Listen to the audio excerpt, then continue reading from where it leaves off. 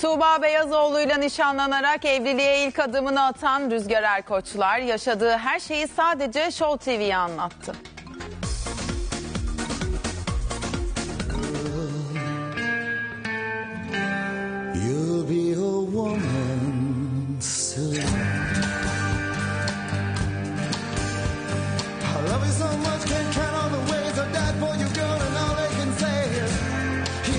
Your kind. Nasıl aşık oldu? sanki senelerdir Tuğba hayatımdaymış gibi hissediyorum.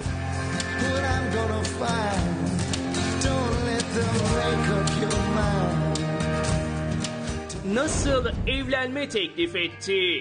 Benim de hafif böyle göz kaptırmamaya çalıştım ama gözlerim doldu. Onu öyle görünce. Hani sevinç gözyaşı aslında ama hani üzülüyorsun hani kıyamıyorsun.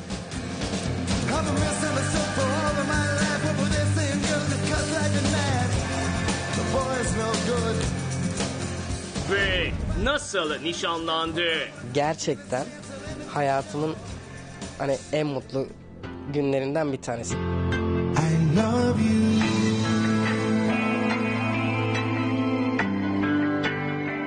Evliliğe ilk adımı atan Rüzgar Erkoçlar yaşadığı her şeyi ama her şeyi Show TV'ye anlattı. O gün nişanda neler oldu?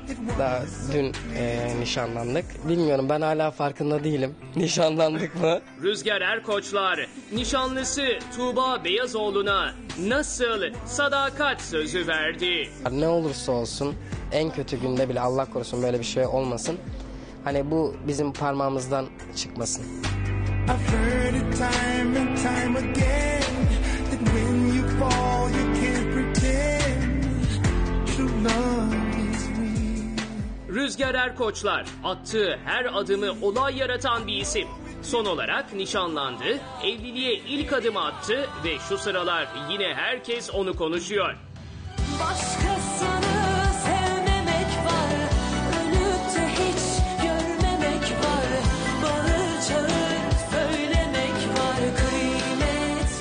Tuğba Beyazoğlu'yla evlilik yolunda ilk adımı atan Rüzgar Erkoçlar'ın o mutlu gününün anılarına ve sadece Show TV'ye özel açıklamalarına geçmeden önce merhaba diyoruz nişanlısıyla ona. İyiyiz. Vallahi evlilik öncesi ilk adımı attık. Mutluyuz. Birbirlerine çok yakıştıklarını söylemek mümkün. Kızımız güzel, oğlumuz yakışıklı.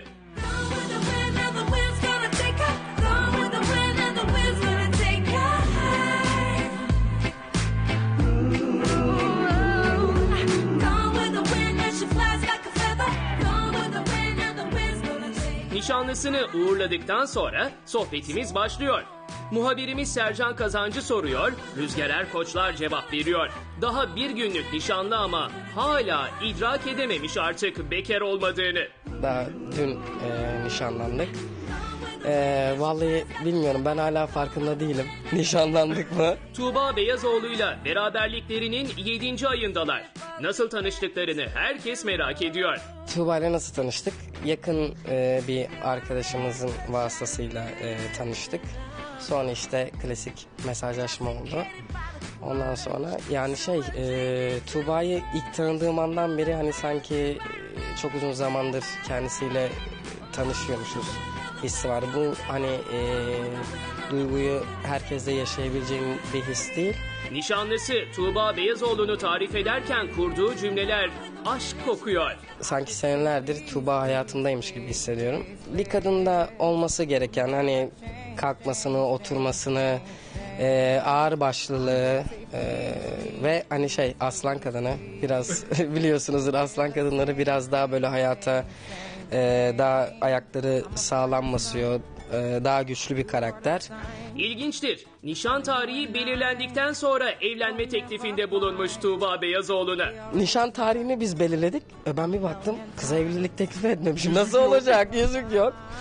Ee, yani klasik bir evlilik teklifi olsun istemedim. Hani normal şık bir restoranda yüzüğü çıkaracağım. Hani çok klasik anladın mı? Rüzgar Erkoçlara yakışan bir evlenme teklifi olmalıydı. Klasiğin dışına çıktı ve bakın nasıl bir evlenme teklifi hazırladı. Benim Tuğba'yı şaşırtmam gerekiyor. Ne yapabilirim? Aklımdan türlü türlü senaryolar geçiyor.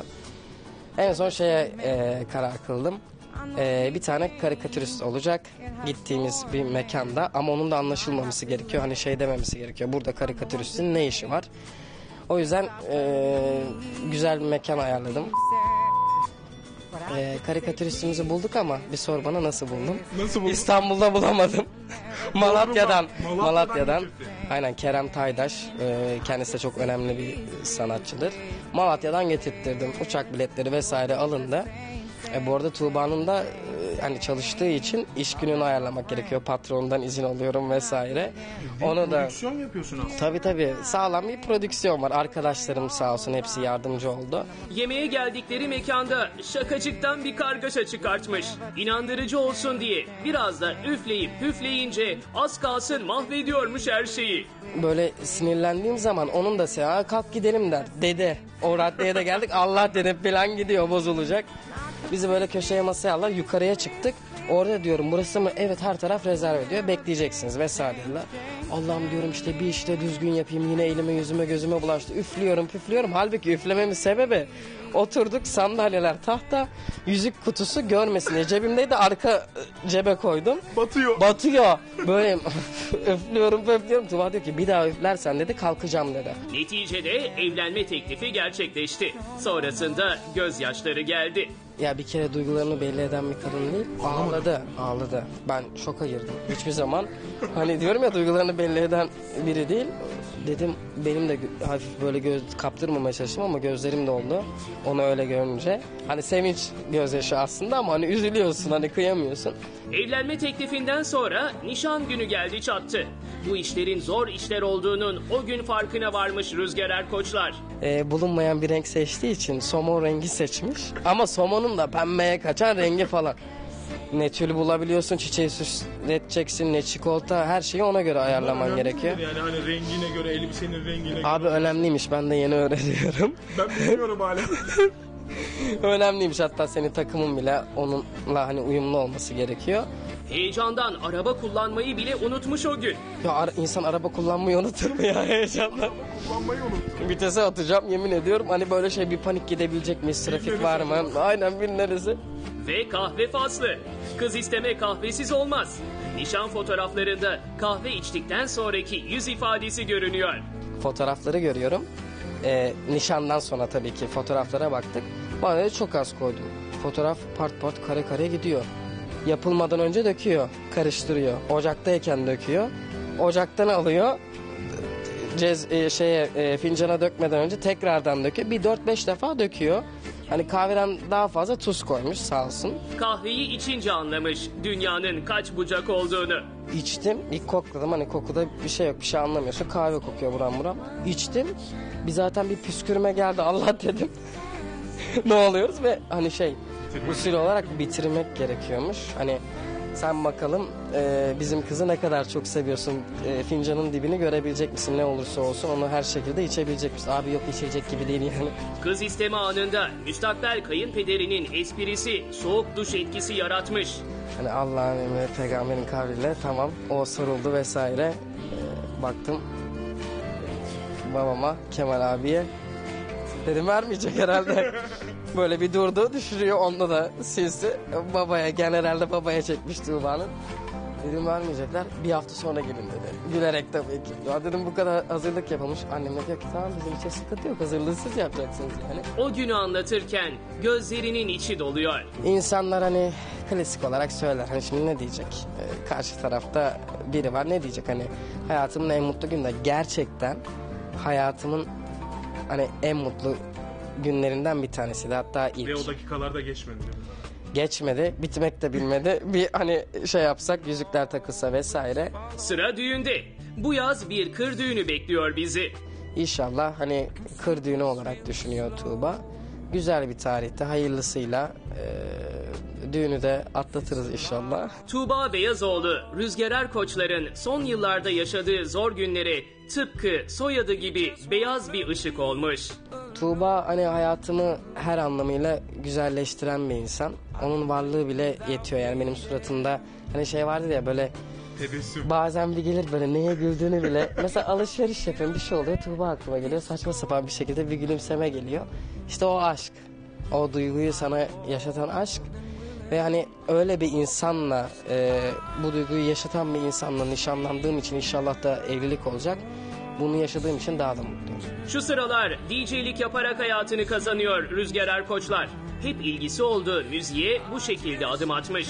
Hep küçüklüğümden beri kulağım çok hani sağlam ama sesim yok. Ses berbat. Hani bunlar da işime yarayacak diye düşünüyordum. Tam da doğru zamanda işte hani sesi kullanmıyoruz ama en azından kulak bilgisinin olması, ritimleri duymak çok önemli bir şey çünkü bu DJ'lik işinde. Ekibiyle birlikte DJ Rüzgar olarak işten işe koşuyor şu sıra. Peki ama ya oyunculuk? Tam içime sinen bir senaryo olsun istiyorum. Dizilere de dahil. Hani evet hani birçok proje geliyor ama hani kalıcı işler olsun istiyorum. Hani konuk oyuncu vesaire değil. Normal hani geliyor ama senaryo da hani tam istediğimiz gibi olmuyor. Son olarak boynundaki kolyede bile ismi yazan nişanlısına verdiği sözü açıklıyor. O nişan yüzüğü parmaktan çıkmayacak. Bu sadakatinin bir işareti. Onunla konuştuğumuz bir şey var. Ne olursa olsun en kötü günde bile Allah korusun böyle bir şey olmasın. Hani bu bizim parmağımızdan çıkmasın. Allah bozmasın diye. Amin. İlk defa da e, Darısı başına kardeşim inşallah. Ben de seninle röportaj yapacağım o zaman. yakın zamanda. hadi bakalım, hadi bakalım. E, içinde ilk defa döktüğün için de çok teşekkür ediyoruz. Ne demek? Bizi tercih ettiğin için de çok teşekkür Ben teşekkür ediyorum. Çok sağ ol. Sağ olasın. Teşekkürler.